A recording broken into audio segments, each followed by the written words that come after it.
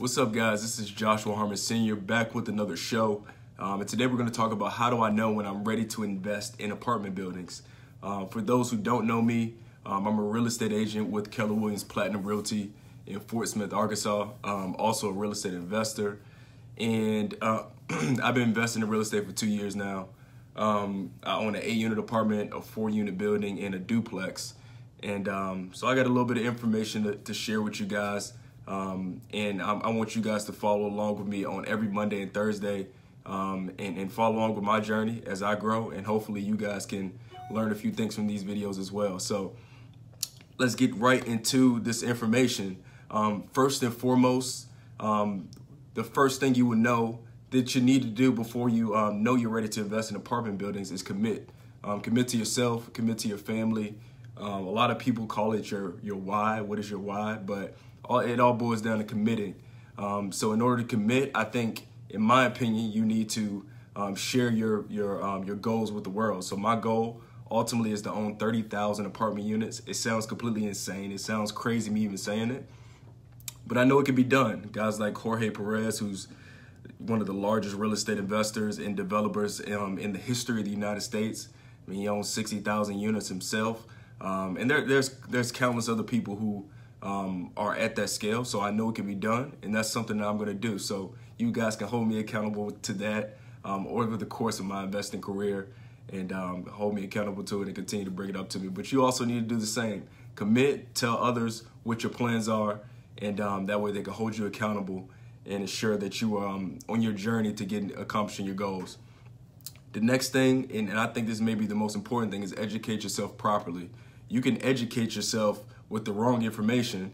Um, and you know it'll it'll it'll it'll have you flipping houses and, and doing all kind of other things that are not focused in on apartment buildings. So you need to educate yourself properly with the right information. Read books, um, listen to podcasts that are aligned with which which your goals are. So um, the podcast that I listen to on a on a um, weekly basis, uh, Wheelbarrow Profits, um, investing in apartment buildings with Michael Blank, I believe it's called. Um, I listen to Old Capital podcasts, and those are higher level. Um, they get really deep into analytics, and um, they're a little bit more advanced. But the beginner um, podcast, maybe a bigger pockets. That's a great. That's a great starting point. They had a great episode this week um, with the guy who buys, I think, 70 units a year, um, and he's buying small apartments as well. So check out those podcasts. if you want to get some recommendations on books, send me a message and I'll personally recommend you a few books depending on your goals. So um, the next thing that I, I, believe is is super important, and I, and I read a book recently um, by Jorge Perez uh, with the related company, who's a partner with uh, Stephen Ross, who is the owner of the Miami Dolphins, and he talked about he talked about how um, understanding the Miami market better than anyone else was the reason why he was able to go from literally no money at all, made a million dollars his first year in real estate, um, without much money, without any money out of his pocket, I believe made a made a million his first year in real estate, and then I mean he's scaled to he's a billionaire. I mean I don't know how many billions he's worth, but he's worth several billion dollars, um, and he has an amazing network, an amazing business, um, property management, development, um, investing, and um, yeah, he's he's one of the biggest investors in the world. He said, knowing the Miami market better than anyone else is the reason why he's successful. It's the the only reason why he made a million dollars his first year. He was able to uncover opportunities that other investors couldn't even see yet. Everybody else was building condos, but he recognized, hey, look, I can buy some of these.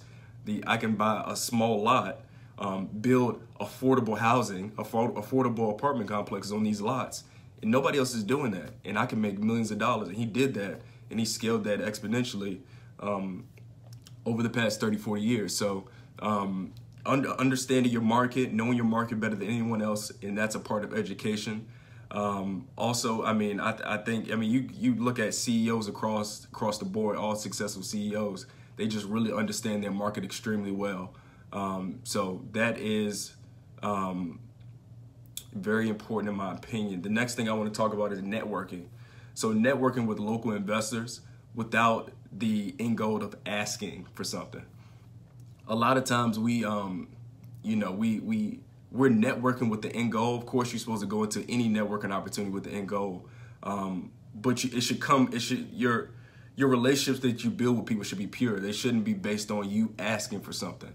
So when you're networking with an investor, you shouldn't have a deal in your pocket that you're just ready to ask him if he wants to invest in. Build the relationship first, make it pure, make it about them. Say, hey, look, what can I do for you? Where are you struggling in your business right now? And if your skill set aligns with one of their struggles, offer your services. Don't always ask for money or ask for help on a deal or do they know this person? Can you connect me with that person? Try to connect them with someone.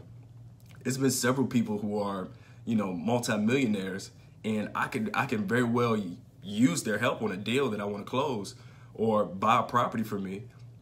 But instead of me asking for um, asking for their service or, or asking for something that's going to turn into a paycheck for myself immediately, what I do is say, "Hey, look, where are you struggling in your business?" And I'll connect them with somebody who can help them if I can't help them. Um, and I, that's why I feel like a lot of people connect with me on a different level. I don't ask for a lot of things. I really don't ask for anything from anyone. Um, I, I, genuinely just want the information. And if I can help them in any way, I'm, I'm more than willing to help them. Um, so network without the end goal of an ask or begging for an opportunity. Be willing to open your own door with the information that you're gathering from up from various people who are on, on higher levels than you. Um, I think that's super important. Um, next, to. So my camera is being weird, so I'm just gonna hold it. Um, where were we? Oh yeah, so get your money right is what we were talking about. Um, the Millionaire Booklet by Grant Cardone is a small booklet I read maybe six, eight months ago, and um, he talks about being in the right vehicle.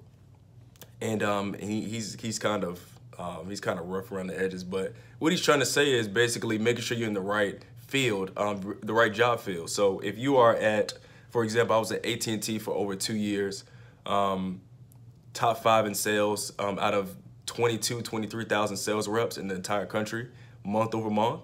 And I knew at some point I wanted to get into um, buying apartment complexes, and I couldn't do that with the, the income I was getting there. Um, it just wasn't enough.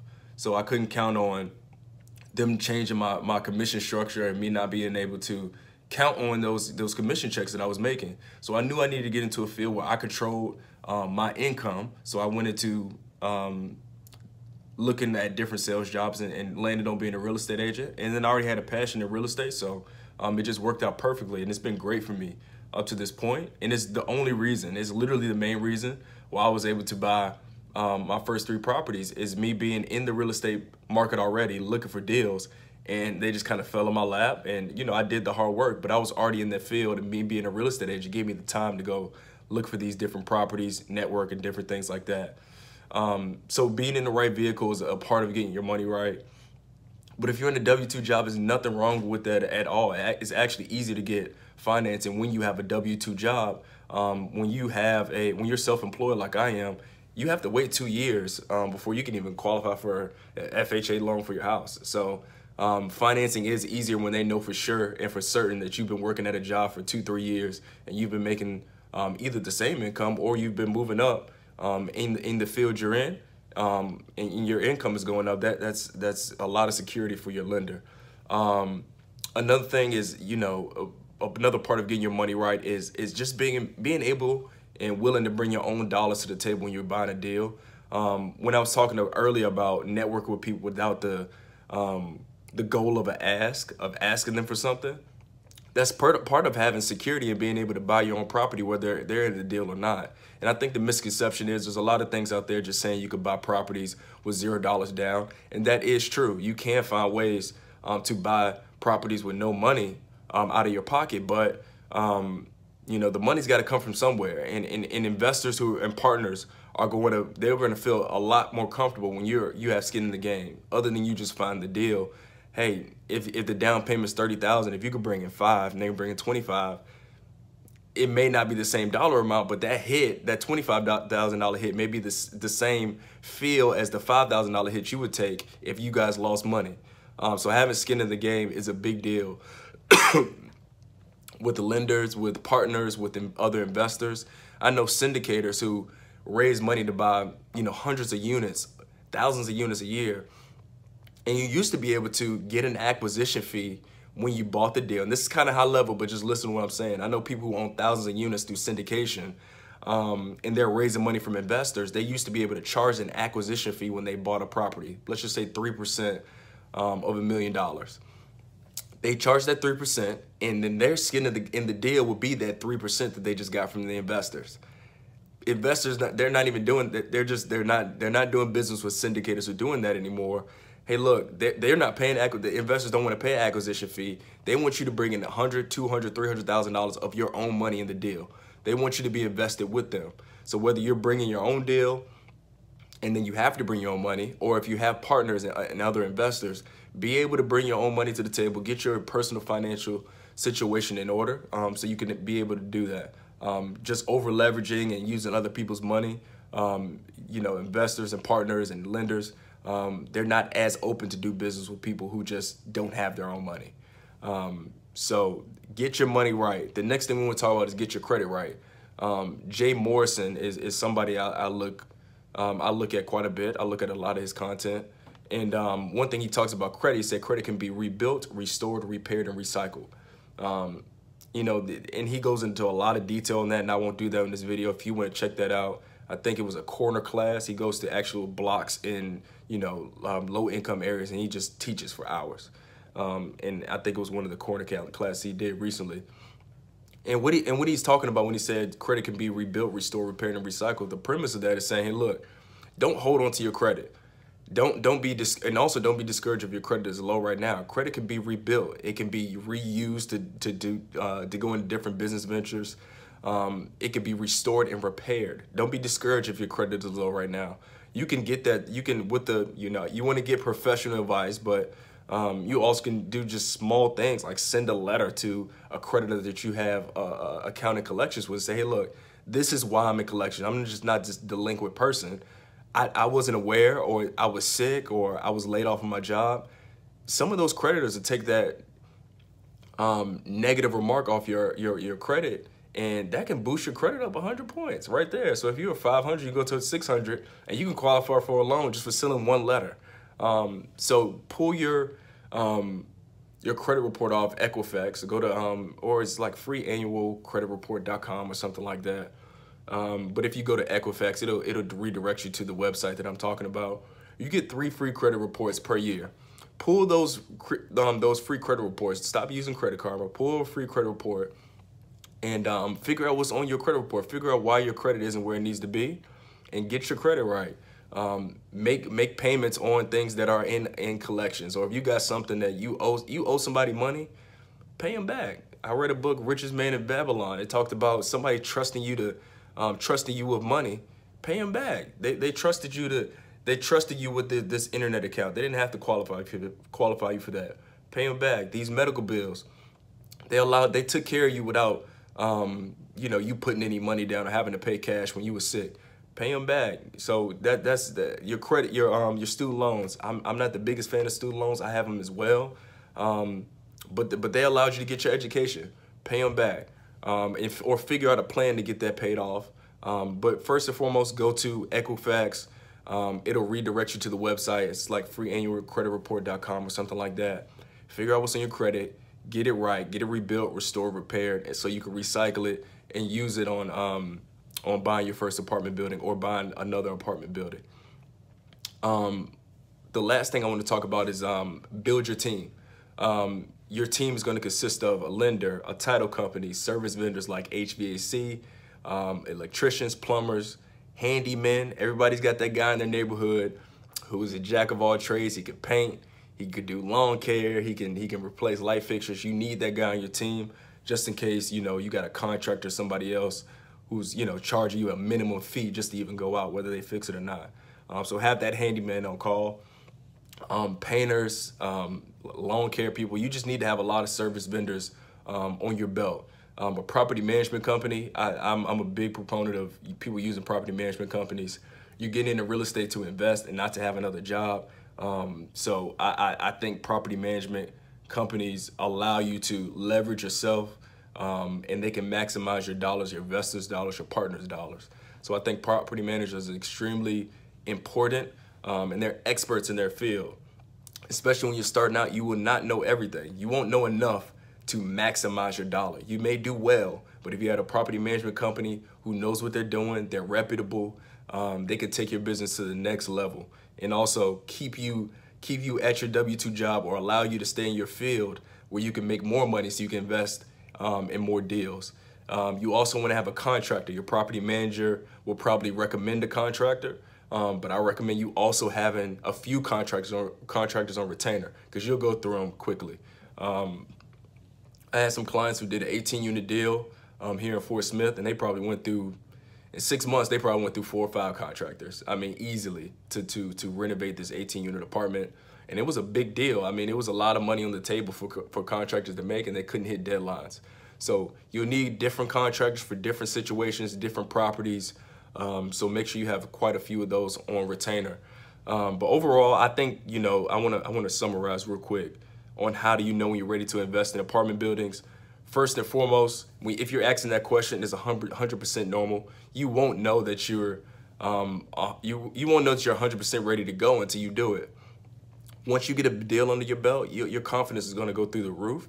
You're going to know that hey, look, no matter what the situation is, what the size of the property is, I can figure this out because I've done it in the past. And your confidence just goes through the roof. I promise you.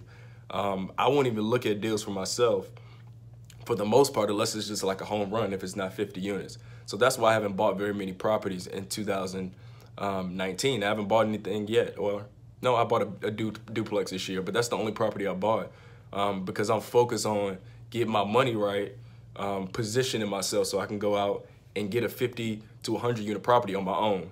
Um, maybe raise some dollars from other people, but I want to be able to position myself where I'm not begging people I'm networking with or asking them um, hey, can you partner with me on this deal? Even though I know it's a good deal, right now I can't bring the 200, 300,000 to the table, um, or I can't qualify for a three, four million dollar loan yet.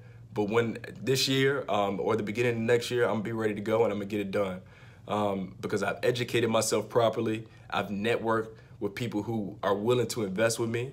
I know who the lenders are. Um, I know the the uh, the big time lenders. I know who who's um, who's who's who's who can do certain loans and who can't do certain loans. So I'm educated there. Um, I'm getting my money right currently. My credit is is is pretty good, um, and and I have a team. I, I know exactly who to call on um, if I found a 50 unit deal right now. I know I know I know who the electricians are.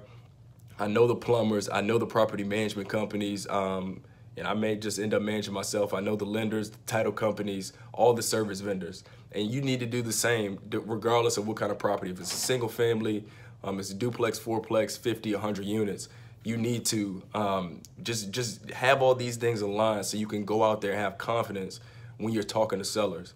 These are all things that I suggested you guys do before you go out there and start looking for deals.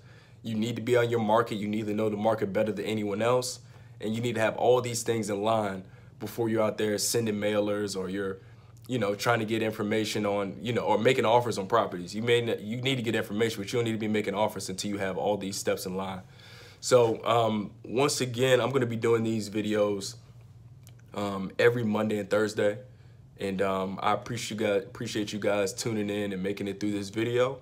And um, i'll see you guys on the next one